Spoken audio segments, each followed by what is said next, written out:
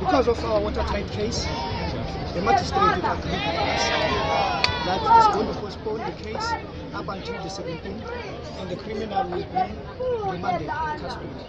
Because he lied about his address, home address, and number. And we as police want to put more cases against him. Because in our investigation we found that there are other activities that this criminal is involved in. So we're going to and make sure that he doesn't